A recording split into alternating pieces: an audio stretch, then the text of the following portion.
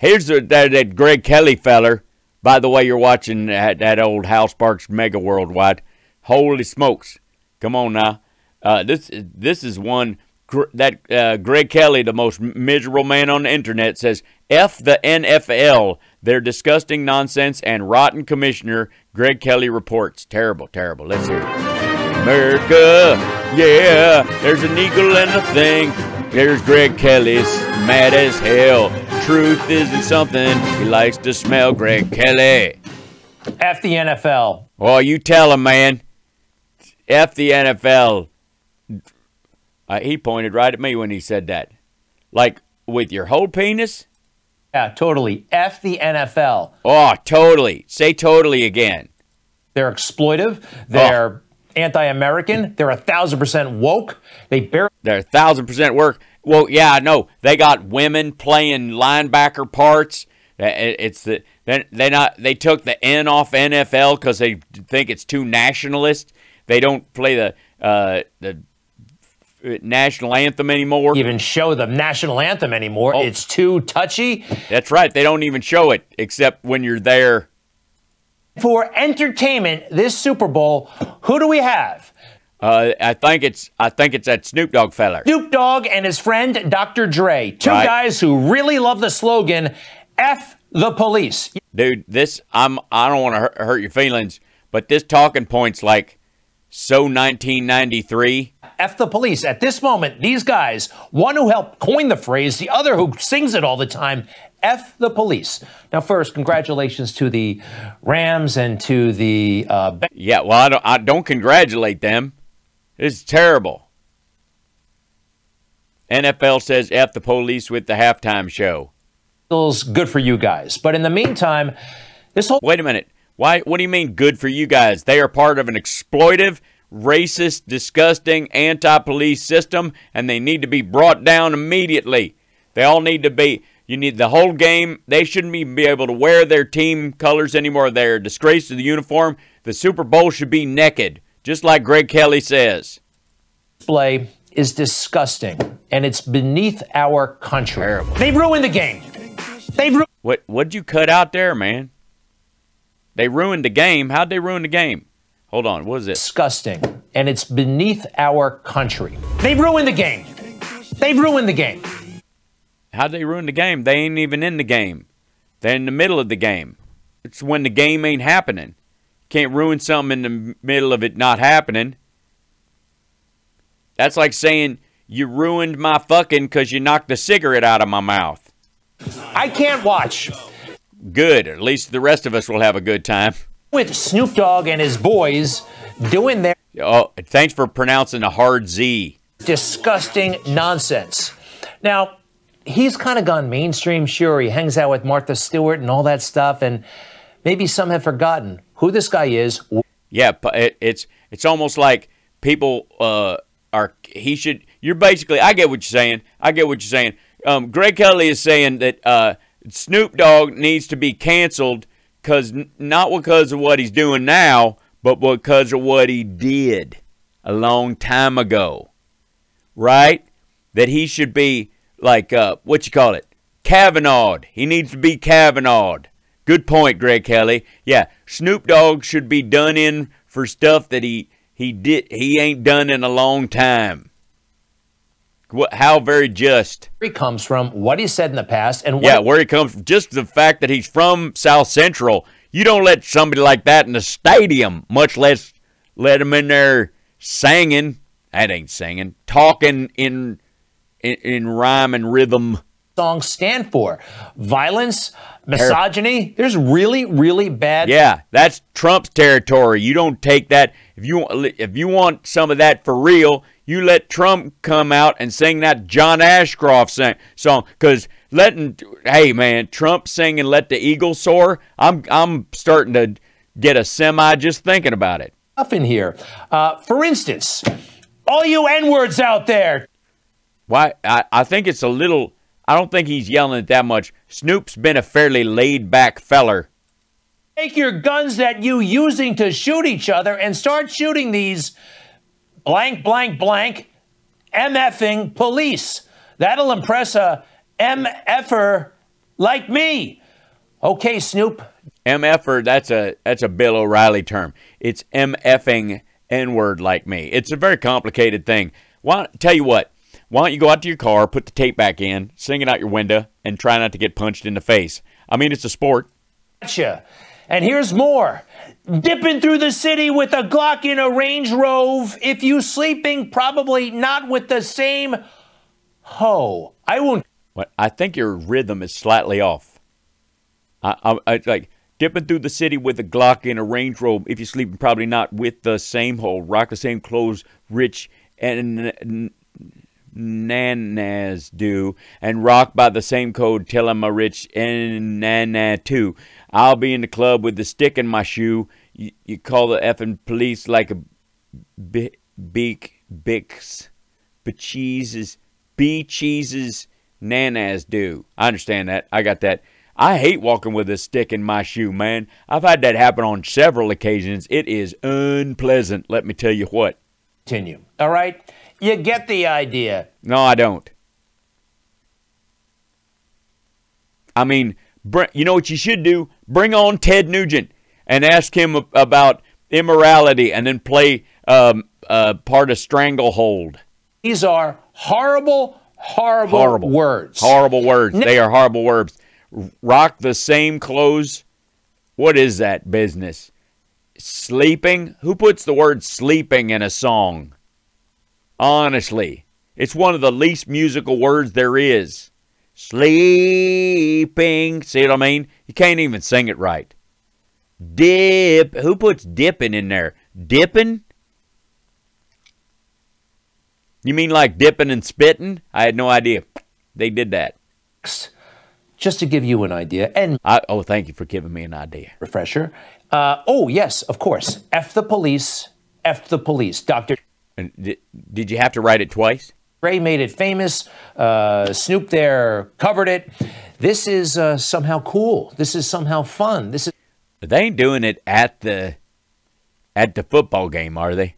Is Colin Cap, Cap, Cap, Copernicus? Is Colin Copernicus going to stand up there and do the whole song on one knee?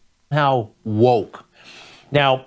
yeah, that's true. There's nothing more woke than uh, than the extrajudicial assassination of a law enforcement officer by a drug dealer. You know what I mean? That's right up there with uh, Roe v. Wade. Ludicrous that these guys. Wait, is Ludacris performing? Well, shit, say so, son.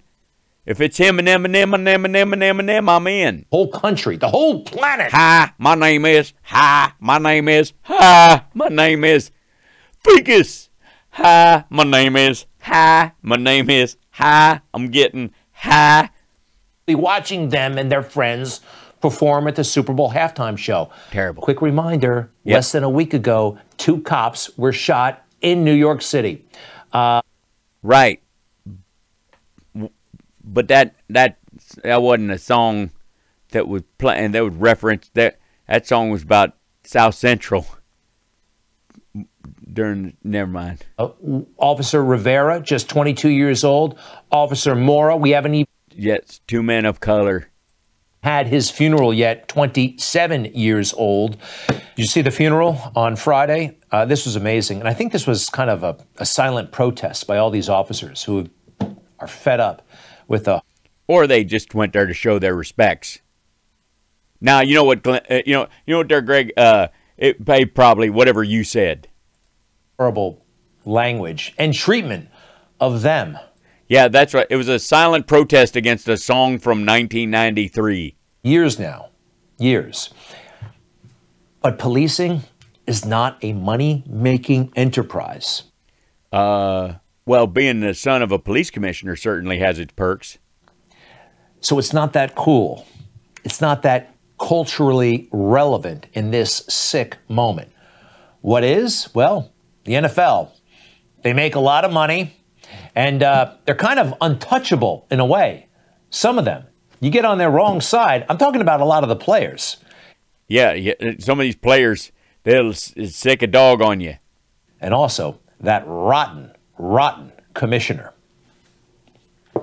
It has been a difficult time for our country, in particular, black people in our country. First, my condolences to the families of George Floyd, Breonna Taylor, Ahmaud Arbery, and all the families who have endured police brutality. Well, Ahmaud Arbery didn't technically endure police brutality. Those were just felons. They just that just straight old murder. Just I don't know. Never mind. Keep reading. You mean well. We, the National Football League, condemn racism.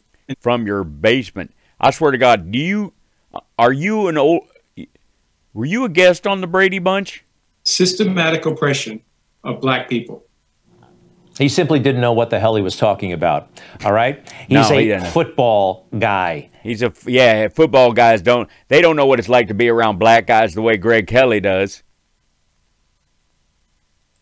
And he's talking about systemic racism. Even the use of the phrase is troublesome.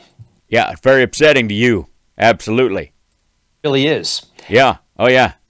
At that vulnerable moment, he helped poison the waters. There was more. We, the National Football League, believe Black Lives Matter. I personally Oh no. Dear God. I mean, they absolutely do in terms of a billion dollar industry that employs a great deal of them. One would think that's how it'd go. protest with you and want to be part of the much needed change in this country. Without black players, there would be no National Football League. And the protests are Excuse me, Greg Kelly is ready to line up. He's if you you never seen him hang out with Tucker, let me talk about what a wide receiver is. All the right, country are emblematic of the centuries of silence, inequality, and oppression of black players, coaches, fans, and staff. We are listening. I am listening. I, I all due respect, sir, it looks like you're reading. Now I don't do a lot of it myself, but I'll trust you on that. And I will be reaching out to players who uh-huh. have raised their voices and others on how we can improve and go forward for a better and more united NFL family.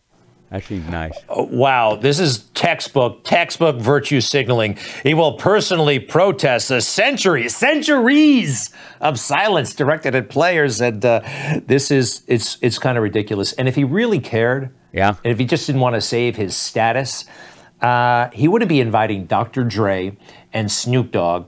Well, well, sure he would. I mean, they've they, basically these are fellas who were gang members and hung out in the really bad areas, and they have bettered their lives, and over time they are fathers and pillars of the community, and they've tried to expand themselves. I knew an old gunslinger used to hang down the store as a, and in his youth he was an angry, spiteful little whippersnapper, and he'd you know shoot you just as soon as you look at you. He's a preacher now. To the Super Bowl. You know what they stand for? Weed, Weed what? misogyny, and uh, anti-cop rhetoric. And Oh, so like January 6th, basically. Be anti-cop actions. Right. But Roger Goodell and the NFL in general, I guess, they just want to appease the mob right now. Terrible. And how do you do that? How? Maybe hold a couple of white guys out as examples, like that coach Gruden uh, from the Vegas Raiders. Uh-huh. Remember that? They went through his emails and found out that he may have used an unfortunate Yeah, nobody goes through your emails. You send them emails out to other people, and those people have your emails and go, "Oh yeah, that guy's an asshole." Word 10. I, by the way, I do not use emails. I use Fmail, and it's it's it allows it autofills all dirty words no matter what you write. I figure it just gets rid of the the week early. years ago Uh-huh. in an email about Roger Goodell and they fire him. This is crazy stuff. They're about to have a couple of guys who love to say the N word in public on stage for Oh my God, Don Jr. is going to be at the Super Bowl. living. Culture really isn't a bad place, and, and, and it trickles down every Yeah, that you watch Snoop Dogg performs at the at the Super Bowl, and next thing you know, there'll be a a, a I don't know, a- a- it'll trickle down. Next thing there'll there'll be a bunch of preschoolers sitting around, uh, and they'll be singing uh, "F the police" in a round. folks are picking up on all of these cues from pop performers like those guys and the woke mob. Yeah, we are a bit doughy headed in this country. I can't even watch a song without doing exactly um, what it tells me to do. I've been in so much trouble when Do You Think I'm Sexy comes on the radio. And some of them are just acting out. I think they've actually been encouraged to say and do things like this. Also, music and video games are responsible for crime, not the individual. I see what you mean. Yep. So so Americans are doughy headed. Gotcha. This is a teacher and these three people, ordinary people, all got the. Well, they don't look ordinary to me. They look very special. themselves in big trouble. Um, but you know what? In a weird way, they're going with the flow. Wait a minute. These are people who have been canceled effectively for doing something, and in and yet they they're protected by the. There's a teacher from Brooklyn, Uh-huh. and when you saw the the big funeral the other day, all those cops, this guy thought, "Hey, ideal conditions for reciprocity." What he was getting at is somebody should take a car and drive yeah, we understand what he's saying. What happened to him? through that great big grou- crowd of Right, not him, obviously. Not this feller. He ain't gonna do it. He, he means somebody else. He's a little he's a little beta for that kind of activity. He needs somebody like you with a with a history of drunk driving. Another woman was Yeah, did uh, yeah, okay. A- asshole tweet something. Gotcha. Said that she had to, I don't know, walk around the block. She was inconvenienced by the funeral. Oh yeah, that's that Guzman lady. She got fired by her theater company for for shitting on a dead Hispanic cop Then she said some horrible things about about a dead Hispanic cop. Deceased officer. We do not need to shut down most of lower Manhattan because one cop died for probably doing his job incorrectly. They kill people. for probably doing his job incorrectly. It, they, by the way, in case you don't know, he and his partner, the other guy who died later, um, they were both assassinated um, at a at a domestic violence call. who are under 22 every single day for no good reason and Uh, citation needed, lady. don't shut down the city for them. She's wrong on every score, every count there. They don't shoot people every day. Uh, Actually, shooting civilians is a fairly rare occurrence. Yeah, and, and if Greg Kelly had his way, it would be less rare. You can thank the mainstream woke media, politically motivated, who exaggerate it beyond all proportion. Well, probably in response to you downplaying it to near worthless status. And then finally, this is possibly the most sinister and strange and illegal uh, And the blackest, which I know scares you. everything you just seen. Bro, but if I'd have known about that mother funeral, I would have that up, bro. All the way. 100%. I'd have that up, bro. I'm telling you. you I done came around that. What, how? How? What, are we talking paintball guns? Or are we talking mooning it? Or What are no cops? Oh my goodness, son. I can't wait. I'm looking for the next cop funeral. I'm gonna f it up, bro. Now, I think this So those three people on social media define society. Okay, good. All right. Well, is reprehensible, I, I know. Uh, I didn't realize I lived in such a shithole country. and same goes for the other two. But they're they're taking the cues from media, from society. Oh, oh, I see. Hold on. Wait. I have to. I, I got to jump over to this one. Wait one second. Is this guy? Where are we? Yeah, this guy. So this is this is what we're to take. These three assholes said what they said, and were as awful as they were. Not because they're awful or they're amoral or gross on their own. These three people were motivated by the fact that Dr. Dre and Snoop Dogg are singing at the halftime show of the NFL. That's it's it. There is a a logic linkage there. Gotcha. All right. Can't put it all on them. They didn't invent this. No, they were they were hypnotized by Roger Goodell. Okay, they've been just taking it all in, from the lyrics to the news. Yeah, the, the- like they they were playing that uh, um, cop killing version of Madden. What results. And that is hostility toward cops. And brings me back to the NFL. It doesn't have to be like this, okay? It doesn't have to be this crass and vulgar display. At one I don't think they're doing that song at the actual. point, not that long ago, 1990, do you know what the theme of the Super Bowl was? Peanuts. like Charlie Brown and Linus and Snoopy. It was Yes, things you understood. 40th anniversary So, you know, clinging to a blanket, sucking your thumb. These are things that that made Greg Kelly happy. 1990. Look at how they entertained the world back then. Wow! What a great birthday party! Granted, the music was a little bit lame, but But then Greg so is Greg Kelly. this there's got to be a happy median, right? Something Yes, somewhere between. Yeah, maybe maybe if Snoopy um, did fuck the police with an Aldis lamp, between this like not because he can't speak. and Snoop Dogg. I mean, look at it. Now we've got we had Snoopy. So there is a time. a We time- have the depraved, perverted Snoopy. Shouldn't be like this. Uh, I hope the NFL will rethink their decision. Still time to make a change. Jesus Christ. That's and by the way, didn't we just watch friggin' Tucker Carlson do a whole show about um, how the Jen, Jen Psaki and the and the media aren't paying attention to the real issues?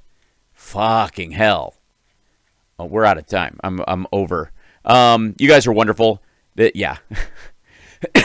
I'm yeah. Is he going back to Janice Nipslip? No, he can't. Otherwise, he'll get excited on the air. Prince halftime was indeed the best. Yeah. Um, and I'm sure if you asked uh, Greg Kelly about Prince's songs, um, there would be a similar diatribe. He just didn't have, you know, the opportunity to tie it to some, you know, greater problem. Yeah, the NFL doesn't care what Greg Kelly is saying. Let's see. The must-watch game, um, uh, you know, the only thing like close to the World Cup that is a singular U.S. sport, watch the world over, and they're like, should we take our cues from a fourth-tier news asshole on Newsmax, who, no matter what happens, if we use a black artist, will start to panic and all the blood will seep out of his head.